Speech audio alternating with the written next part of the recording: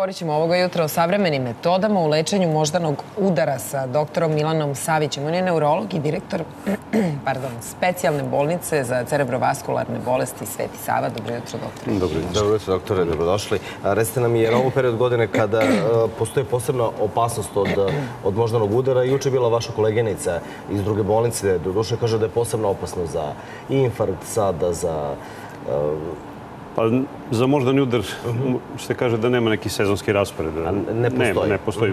Rađene su različite ovaj, statistike koje nisu kazale da se on pojavljuje češće u nekim godišnjim dobima ili već prema vremenskim neprilikama. Više u suštini se to odnosi na pogoršanje stanja zdravstva hroničnih bolesnika koji imaju neke srčane bolesti, diabetes ili hipertenziju. Dobro, ali može vreme to da isprovocira Pa da, uglavnom može kao i neki drugi faktori da ovaj, podjednako mislim i hladnoća i vrućina. Tako da A šta nema, može to da isprovocira moždani udar?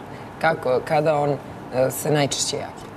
Pa, moždani udar je ovako, kako bih rekao, jedna vrlo urgentno stanje u medicini i uglavnom iskoro po pravilu ne dešava se nikad bez nekog razloga. Provokativni faktor ili ono što se nekad naziva okidač nije dovoljno da se nekome desi moždani udar. Mora da postoji neka bolest ili stanje u osnovi koje stvara predispoziciju, pa sad onda nekome koji inače bole od pritiska dođe do skoka, neko se iznervira pa kaže ja sam imao stres i zbog toga sam dobio moždani udar, pa nije baš tako jednostavno. Znači, okidači postoje, oni mogu biti razne psihofizičke, da kažem, prirode, ali u suštini u osnovi mora da postoji bolest neka, uglavnom je to ateroskleroza, ili neki faktor rizika koji na kraju zbog svog dugog trajanja dovede do promjena na krvnim sudovima. A koji je to faktor rizika koji može tako dugo da traje da rezultira ovako? Evo ako prvo osnovno, što sam pomenuo, to je ateroskleroza, to je jedan hroničan proces na krvnim sudovima koji se praktično javlja od naše najradnije mladosti. Svi imamo manje ili više izražen taj proces i on je prilično, ako ne zaustavljiv, reklo bi se, ali se naravno pogoršava ukoliko neko ima više godišnju hipertenziju, pogotovo nelečenu, nekontrolisanu, ukoliko ima srčane bolesti, prvenstveno poremeće ritma, ukoliko ima diabetes, ukoliko je gojazan, fizički neaktivan, konzumira alkohol i, i cigarete. Znači sve te, ili na primjer, rekao sam diabetes, to je jedno od češćih faktora rizika, takođe poviše nivo masti u krvi i onda, pošto se kod naših pacijenata najčešće javlja više od jednog tog faktora rizika, onda nije tako neobično kad se na kraju kao finale svega jednog hroničnog procesa desi moždani udar. Da, ali koliko je to uopšte česta pojava kod nas? Čini mi se da dosta pričamo o moždanom udaru i sad na onoj listi koju vi pravite ili mi pravimo kao država ili Svetska zdravstvena organizacija, moždani udar je na kom mestu? Uvek na najvišim mestima. Kod nas u Srbiji da je to, nažalost, najčešći razlog smrti u ženskoj populaciji, a drugi najčešći razlog smrti kod muškaraca. Jel nam to govori nešto? Jel nam to govori uh, o tome da ne vodimo dovoljno da. računa o sebi, da ne preveniramo uh, razne stvari? Sigurno da? nam to govori. Prvo, to je osnovno, naravno, nema adekvatne prevencije, ni, ni pojedinačno, a ni reklo bi se neke organizovane uh, prevencije kao programa ne, ne postoji ili mi ne vidimo te rezultate. Drugo, Ko je najbolje ipak to mi malo govorimo možda nam udaru. Izgleda da moramo još više da govorimo, jer jer ipak postoji da kažem, terapijske procedure koje mogu da uspešno leče moždani udar. I mi jednostavno stalno smo, pokušavamo, bar mi u bolnici Sveti Sava, pa i druge kolege, da budemo prisutni da pričamo o tome. Naravno, prevencija je nešto što treba se pozabavi država. Ili postoji znači, napravi... neki model neke, neke države, da li u okruženju, da li u Evropi, koji su to napravili postoji. tako da se to prosto vama dopada da kažete e, ovo bi smo mogli i trebalo bi? Od, Ko je mislim, od Sjedinjih država do, do više evropskih zemalja, nije to samo jedna. Ovaj, uočili su naravno da je šlog isto tako česta bolest i, mislim, to je generalno tako na globalnom nivou. Znači da, da kosi stanovništvo, da ostavlja veliki trajne posljedice, da je skupo za lečenje, uh -huh. da je dugotrajno i onda su to dugotrajni programi preventivni koji uglavnom imaju za cilj da otkriju faktore rizika, da ih leče uh -huh. i da onda smanji rizik od moždanog udara i e, ti programi traju po više decenija, tek onda daju rezultate. I rezultati su vidljivi posle 20-30 godina, ili ne, možda 30, 10 do 20 godina, već vi vidite smanjenje broja pacijenata koji oboljevaju. I uštede u budžetu, verovatno. Tako je i naravno da. ne samo da je smanjen broj, nego su i oblici koji se pojavljuju mm. lakši. Naravno, nemoguće da. potpuno sprečiti možda ni udar, ali sa dobrom kontrolom, dobrom prevencijom apsolutno da, da se izbjegnu teži oblici. Zamolit ću vas da odgovorite na pitanje sada našeg gledalaca. Želimo dobro jutro, izvolite, sluša vas, doktor moždanog udara, šta se dešava sa organizmom? Kako bi, na primjer, ja znao, e, dobit ću srčan, taj moždani udar? Da. Hvala. Da, odlično Hvala. je pitanje. Hvala. Najviše opreza treba da kažem, imaju oni pacijenti koji znaju da već boluju od visokog krvnog pritiska, dijabetesa, srčane bolesti. Oni su u značajno većem riziku nego ko nije bolestan uopšte od tih stanja. I moždani udar se najčešće dešava u stvari u 99% slučajeva naglo. I, mislim, jedna od bolesti koja ima vrlo nagli početak i nikad ne prolazi spontano i tipični su veoma simptomi. Nije teško prepoznati moždani udar. E, se? Problem je, veći je problem šta? Kad Šta se to raditi? desi, ljudi lutaju, malo razmišljaju, hoće li mi sad spontano to proći, ajde da sačeka malo, neću odmah da idem kod lekara, neću odmah zvati hitnu pomoć. To su najčešće greške koje sami pacijenti i njihovo okruženje prave. A Znači, šta, šta osjeća pacijent? Pacijent uglavnom a, oseti slabost jedne strane tela i lica.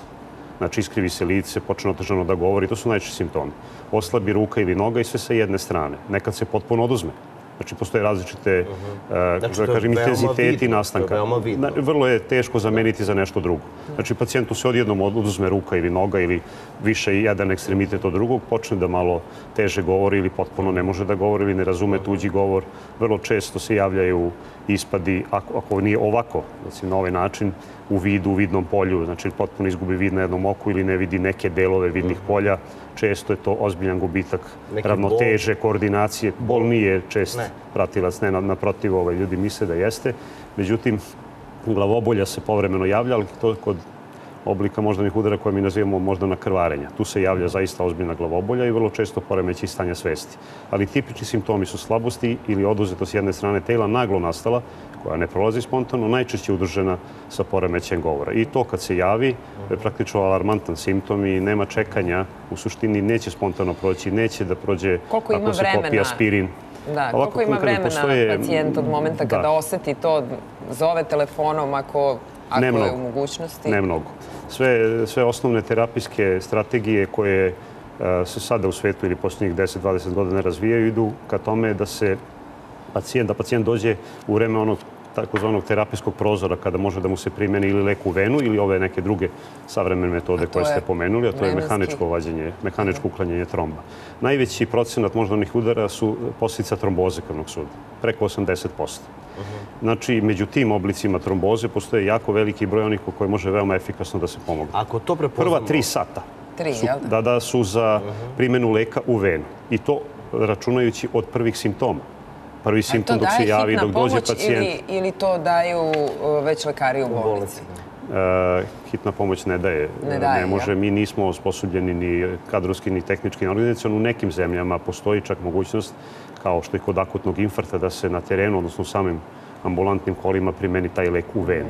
Kako Međutim, se- kod nas ne. Kod nas mora pacijent apsolutno da zove Ali hitnu kako pomoć. se zbrinjava uh, amaterski uh, ovako urgentan slučaj? Šta se radi? Okrene se hitna pomoć i kaže Dobro. se imamo e, vrlo sumnjiv slučaj. Znači, to je prvi prioritet, to je crveni poziv, takozvani Dobro, crveni poziv. Hitna pomoć mora da dođe na lice Ako mi je mesta. vozilo blizu i ako ste vi, vi u situaciji da prevezete tu osobu, da li da se upuštate u to ili ne? Nije savjet da sami... Nije. Ne, zato što vrlo često dolazi do i poremećaja gutanja i stanja svesti. Nekad pacijenti povraćaju nestručno, kako da kažem, baratanje ili prevoz može da... Znači, hitna pomoć je prva, prvo što treba zvati. Oni naravno znaju kad neko kaže, kad, kad ove simptome Prepoznaju. prepozna, oni odmah naravno ste šalju. To je kao i kod, ovaj kod, Da. srčane, kod srčanog infarkta. Znači, Izdali odmah morate ovaj vodič za prevenciju, lečenje i rehabilitaciju. Možda ne udar, to izdala vaša bolnica. Uh, krupna slova, reklo bi se za starije, bez naočara. A da se- bi se da je, da, da, se prvenstveno da krupna slova e, i da je namenjen pacijentima, onima koji su oboleli e, i koji će tu naći odgovore, na, mi tako bar mislimo i nadamo se na najčešća pitanja koji ih muče nakon moždanog udara šta i kako se izboriti sa šta kako se da se porodica i okruženje po- e, ponaša prema njima. I drugo, to je čak eto, na neki način dobar priručnik za one koji nisu imali moždani udar, a e, na, recimo da su u riziku da ga dobiju. Znači, ono što sam rekao, tri sata su ključne. Ako pacijent dođe za tri sata u bilo koju ustanovu koja ima jedinicu za moždani udar i može da zbrine, može da dobije ono što se i dalje naziva zlatnim standardom u lečenju moždanog udara, to je lek u venu ili takozvana tromboliza. Zato nam treba bar sat vremena da imamo pacijenta u a, prijemnoj ambulanti, da. da. da, bi mu radili osnovne laboratorijske analize i naravno obavezno skener. I imamo da. šest sati za ove savremene metode. Da, mnogo vam hvala doktore Hvala, na gostovanju i na svim ovim savjetima. Kada smo već toliko puta pomenuli hitnu pomoć, uključit